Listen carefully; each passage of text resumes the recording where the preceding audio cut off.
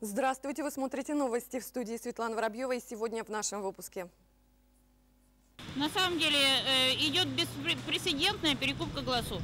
Алиханов это мест, олигарх местного значения, и он, безусловно, один из самых богатых людей Карелии. Представители партии комментируют отставку Давлетхана Алиханова и строят предположения о причинах таких действий. Я, честно говоря, не помню. Я больно наемный. Почему капитальный ремонт в Петрозаводске разваливается прямо на глазах? Жильцы домов счастливчиков не ощущают светлого чувства. Дефицит героина в отдельных населенных пунктах Республики Карелия привел к переориентации части потребителей на употребление наркотических средств. Героина стало меньше, но количество наркоманов не убывает. Расслабляться наркополицейским рано. В Петрозаводске устраняют последствия крупной аварии. Без электроснабжения осталось порядка 10 жилых домов в районе улиц Советской и Милентьевой. Эксперты уже называют причину это замыкание электропроводки и, как следствие, пожар в электрощитовой. К счастью, обошлось без жертв. Ефим Овчинников с места аварии.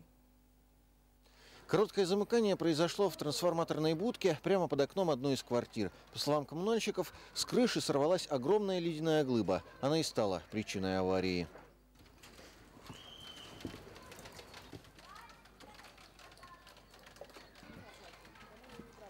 Кабельный шкаф, аварийная ситуация. Дома сидел в компьютере, играл. Резкий хлопок произошел, пошел на кухню, посмотрел. Сначала дым пошел небольшой. Ну, потом через пару минут больше, больше, больше. Хотел электриков вызвать сначала, ну, потом пожар. Вызвали пожарников.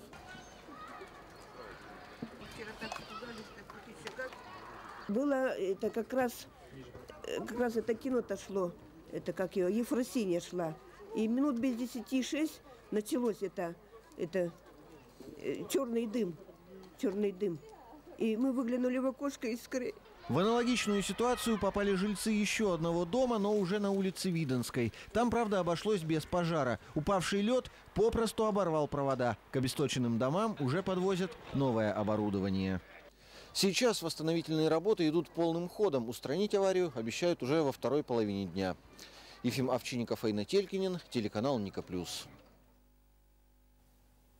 Глава Карелии Андрей Нелидов принял отставку Давлетхана Алиханова. Заявление об отставке Алиханов написал после того, как неудачно провел избирательную кампанию в Петрозаводский городской совет.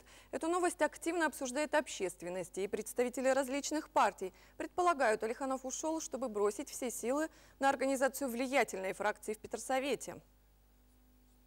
Зачем он ушел, еще можно порассуждать. Я думаю, что у него, ну, по моему мнению, был такой план. Триумфально выиграть выборы в Петросовет, чтобы в дальнейшем ему позволили вести даже не список «Единой России», да, а список Алиханова в Законодательное собрание Республики Карелия. Теперь всем понятно, что от «Единой России» уже никакого списка Алиханова в Законодательном собрании не будет. Возможно, его уход связан с тем, чтобы а, подготовиться а, к законодательному собранию уже не как от партии «Единая Россия», а своими силами, чтобы взять реванш там. Пока он был вице-губернатором, он, конечно, мог использовать э, метод кнута и пряника, да, э, кому-то пообещать какие-то преференции, э, на кого-то надавить. Сегодня его позиции резко ослабли э, с учетом потери вот этого вице-губернаторского места. Но я думаю, что у него все-таки ресурсов и каких-то методов убеждения достаточно много. Он, безусловно, попытается сохранить вот тот контроль, который он имел, потому что я думаю, что для него это принципиальное значение имеет. Выборы депутатов закончились, но впереди еще выбор председателя городского совета. По мнению аналитиков, команда Алиханова в меньшинстве. И чтобы посадить в кресло председателя своего человека, алихановцам необходимо еще как минимум несколько депутатских голосов. Иначе проводить свою политику в Петросовете и контролировать город попросту им не удастся. На самом деле э, идет беспрецедентная перекупка голосов. Называйте вещи своими именами. Цена вопроса поднялась от 50 тысяч рублей, уже до полутора миллионов, и ходят такие слухи, какие-то разговоры. Э, действительно, э, на ряд депутатов оказывается давление. Алиханов это мест, олигарх местного значения, и он, безусловно, один из самых богатых людей Карелии. И, конечно, у него и финансовый ресурс, и административный ресурс, и информационный ресурс очень сильные. Поэтому трудно э, многим будет сопротивляться искушению, скажем так. Но я опять же выражаю надежду, что э, в Петросовет сейчас прошли э, люди, которые думают о будущем, думают о том, что э, политическая карьера не заканчивается вот сейчас, да, и не будут принимать вот таких каких-то меркантильных решений и переходить на какую-то другую сторону. Вы знаете, человек слаб, и, конечно, всякое может произойти в этой жизни, но я знаю, что наши народные депутаты, несмотря на те предложения, которые им были уже до этого высказаны, они держатся стойко. И у нас есть своя кандидатура, мы считаем, что в силу вот этой политической неопределенности внутренней, может быть, стоит прислушаться к горожанам и выбрать председателем Петросовета независимого, непартийного человека. Петрозаводчане недовольны качеством капитального ремонта. Жильцы домов счастливчиков, которые попали в федеральную программу, отнюдь не испытывают счастья. Почему капитальный ремонт в Петрозаводске рассыпается прямо на глазах? И кто должен контролировать качество строительных работ? Марина Кабатюк искала ответы на эти вопросы. Это два дома-близнеца по улице Мерецкого. Черту между ними провел капитальный ремонт. Но соседской зависти нет. Облагороженный сайдингом близнец красив только внешне. С одной стороны красиво, а с другой стороны, насколько это надежно. Видите, окна сделан, да? Здесь. Вот снег лежит, дождь пойдет, будет заливать туда внутрь. То есть он должен быть... Откоса нет. Откоса нет. Не прошел ремонт и проверку на прочность. Спустя месяц новый козырек подъезда рухнул. Его срочно стали восстанавливать. Сколько еще опасных недоделок строители не знают. Впрочем, они даже не знают, в какой компании и на кого работают. Я, честно говоря, не помню. Я больно наемный. А то есть вы не знаете, от кого вы работаете? Ну, я знаю, но я не могу вспомнить, я честно скажу. Я вольно наемный просто. Скажем так. Попросили, я сделал. Сегодня одни рабочие поработали. На следующий, э, через некоторое время приехала другая бригада переделывать. Этот случай не единичный. Недовольных в Петрозаводске много. И дело не в том, что дотошные собственники придираются к строительным мелочам. За те деньги, которые тратятся на капитальный ремонт, люди вправе требовать надлежащего качества. В 2010 году Петрозаводск получил два транша из федерального бюджета. Весной 142 миллиона рублей, осенью еще 308. По закону эти деньги должны дойти до собственников. Качество произведенных работ э, контролируют организации, которые наняты заказчиками. Заказчиками у нас э, выступает управляющая организация, либо товарищ собственника жилья, да, и распределяются средства именно в эти организации. У данных организаций, да, управляющих организаций, либо товариществ, существуют, должны быть э, договоры заключены с организациями, которые осуществляют строительный контроль. В жилищном контроле ответственность за качество ремонта перекладывают на собственников жилья. Получается, что никакого контроля у жилконтроля нет. Есть цифры. В программу попало 144 дома Петрозаводска. Но ни сроков, ни конкретных сумм на каждый дом мы не услышали. Сроки у нас республиканской программы. Сто процентов выполнения, как говорится, пока еще нет. Сто процентов выполнения. Все в процессе.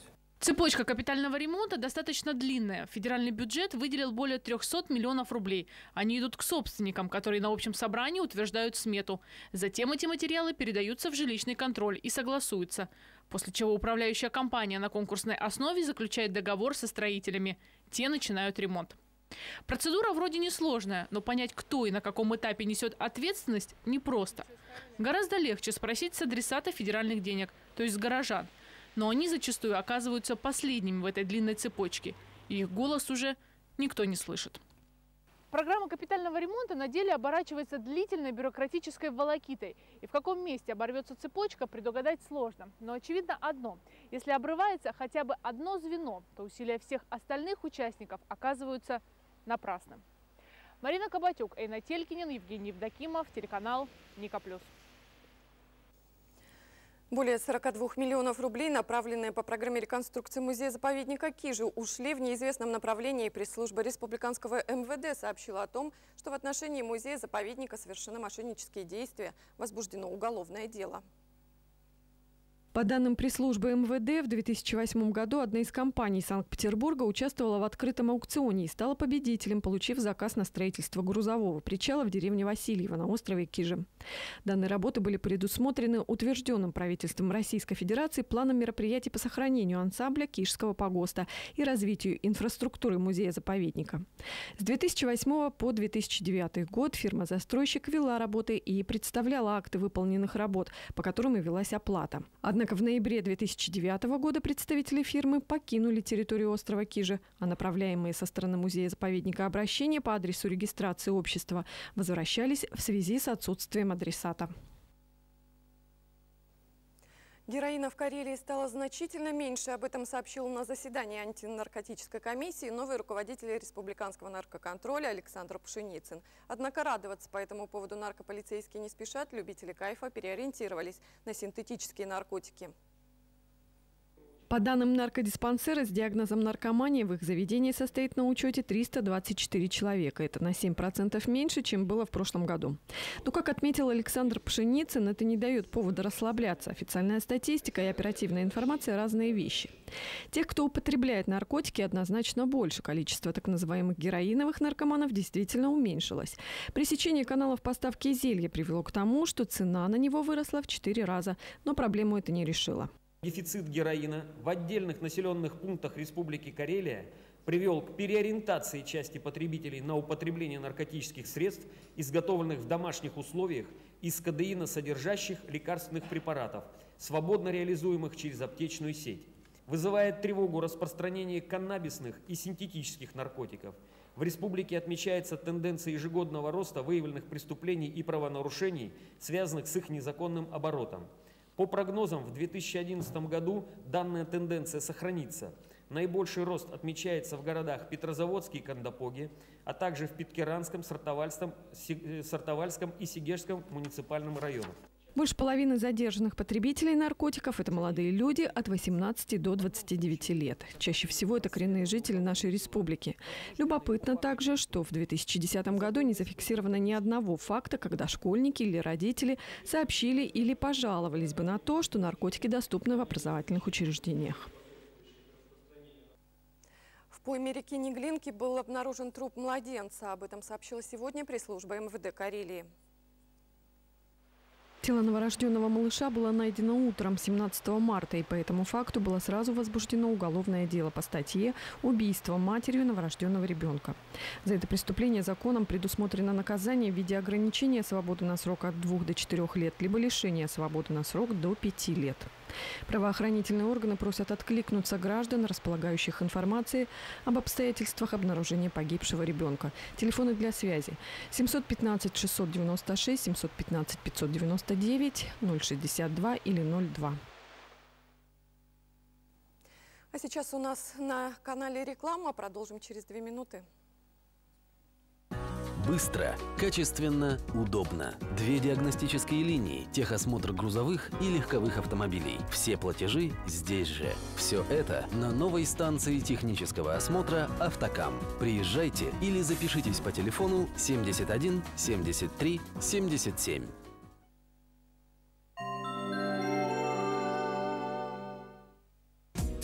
Доктор Борменталь открывает дополнительную группу 28 марта. Звоните прямо сейчас по телефону 63 50 05. Меняйтесь вместе с нами. Доктор Барменталь. Похудение без запретов.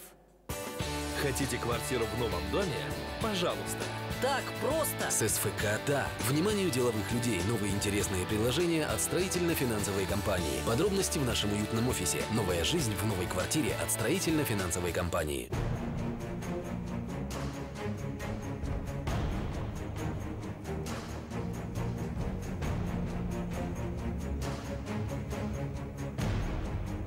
Уникальные методики лечения заболеваний спины и суставов. Костная клиника. Чайкиной 5. Свой стиль для каждого. Они такие разные. Но их объединяет одно. Все они одеваются в третьей линии Гоголевского центра и в магазине мужской одежды на Московской 8.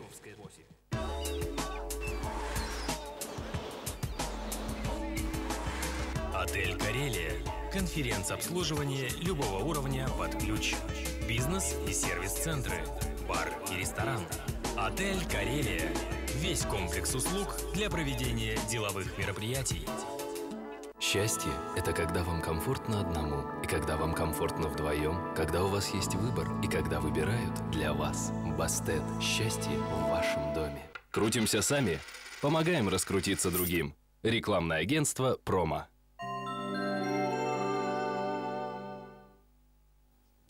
Вы смотрите новости. Спасибо, что остались с нами, и мы продолжаем. Год назад в столице Карелии появилось новое банковское учреждение «Про Бизнес-банк». Быстрые кредиты без подтверждения доходов и кредиты на любые цели. Любовь и уважение горожан банк заслужил доверительным отношением к клиентам. Благодаря стабильной и профессиональной работе ProBusinessBank хорошо известен в международном финансовом сообществе. Высокий уровень сервиса, качество обслуживания и выгодные условия – весомые преимущества ProBusinessBank перед другими банковскими учреждениями. Число клиентов банка среди петрозаводчан постоянно увеличивается. В большинстве своем это пенсионеры и работники бюджетной сферы. ProBusinessBank – это единственный банк в городе, где можно получить кредит без справок и поручителей. То есть вы приходите к нам, называете сумму вашего дохода и получаете необходимую сумму.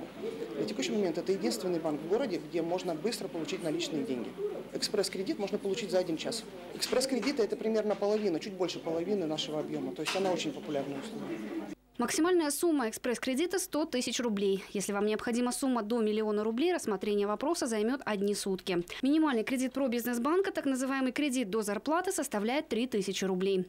Помимо Петрозаводского отделения, в этом году про бизнес-банк открыл еще два в Кондопаге и Костомукше. В планах на ближайший месяц новое отделение в Сегеже и Сартовало. Работать они будут по стандартной схеме с 9 утра до 7 вечера, без перерывов и выходных.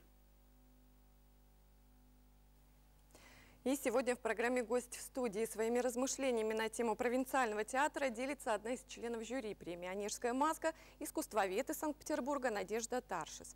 Смотрите интервью с ней после рекламы. А новости все они доступны в интернете по адресу никодефисмедиа.ру. Добро пожаловать, спасибо, что вы с нами и доброго вам дня. Срочно требуется помощь Виталию Аброскину. Он президент благотворительного фонда «Помоги делом», девиз которого «Сегодня вы спасете чью-то жизнь, а завтра, быть может, кто-то спасет вашу».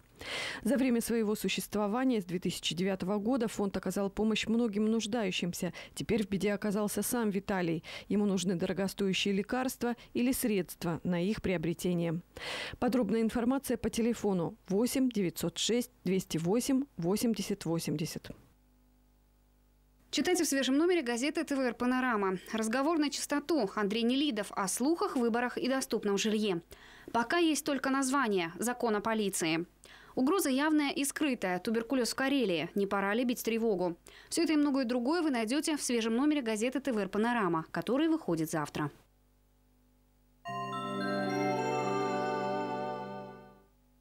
Велосипеды для спорта и отдыха, комплектующие, а также ролики и скейты. Магазин «Спорт Экстрим» в развлекательном центре «Горка». Я со вчерашнего вечера ничего не ел. Всю ночь ничего не ел. Но теперь-то я поем. Кашку, блинчики, омлетик. С 8.30 до 11 утра завтраки в ресторане «Бистро Фьюжн». В магазине Позитроника ты купишь ноутбук Toshiba с Wi-Fi, Bluetooth и веб-камерой всего за 7 990.